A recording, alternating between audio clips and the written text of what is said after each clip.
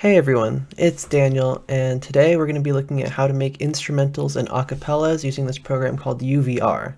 And it's really easy, you don't have to download anything, it doesn't cost anything, and it really only takes a few minutes. So first, if you click the link in the description, you should be able to open this page. As you can see here, there's a lot of options.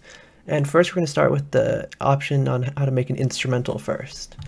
So the settings that you're going to want to choose, you're going to want to uncheck mount drive, we're not going to be doing that. And then after you do that, just click this play button. It's okay, run anyway. And it should take a couple minutes, but then after that, then you should be good. So as you can see here, it says downloading models. That just means that the program is being downloaded, so then you can run it later.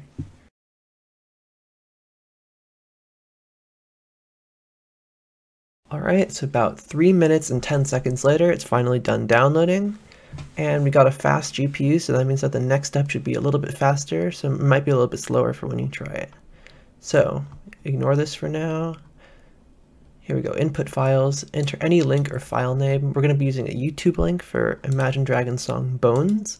So we just have to click on the lyric video, click on the link, let's copy it, paste it here, and so the next step we're going to do is we're going to choose the pre-trained model.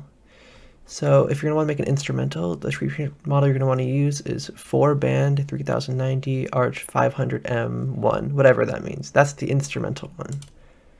So once we choose that, we're going to change some of the other settings as well. The window size, we're going to go down to around 320. And the rest of it, you should probably stay the same. Aggressiveness is 0.3. GPU, you're going to want to turn it on to make it even faster. You're going to want to turn on deep extraction. This makes it a little bit higher quality of an instrumental. We're going to leave this off. We're going to leave this off. And then we're going to turn on download because when it's done, then it's going to download the files for us. So once we're done with that, we're going to click on this play button right up here. And I'll see you on the other side.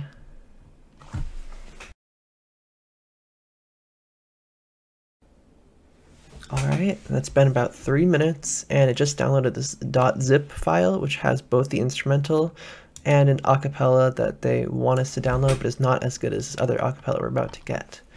So before we open this instrumental, we're going to go up here, and we're going to create the acapella file. So we're going to change around some settings. This pre-trained model, we're actually going to be using a different thing. Scroll down here, and we're going to be using MGM V5 Vocal 2 Band which is going to be for the acapella. We're also going to change around some settings here. We're going to want to change the aggressiveness down to 0.1. It sounds a lot better if it's not as aggressive. We're also going to be removing deep extraction. And we're going to be turning on ice vocal because this is a vocal output after all. We're also going to be turning on test time augmentation because that makes it sound a little bit better. And keep everything else the same. And we just hit the play button again and then we create our, our acapella.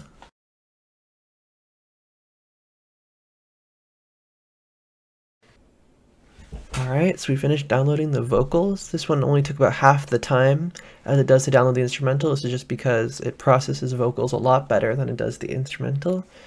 So anyways, now that we finished downloading it, we should open it. As you can see, we have two new .zip files, one that contains the instrumental and one that contains the vocals. So we know that the one that downloaded first has the instrumental, so we'll open that up first.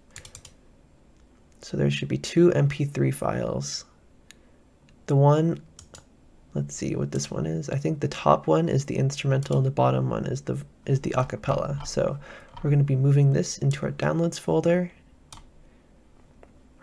So this is the instrumental for Bones now. And then we'll go to the second folder, the one that has our acapella in it because it downloaded second. And we're going to be taking out the second one because the second file is the vocals. So here we go. All right, and now we have our instrumental. Let's hear it.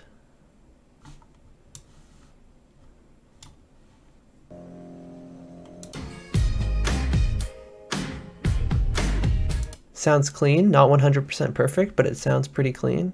Now let's open up our acapella.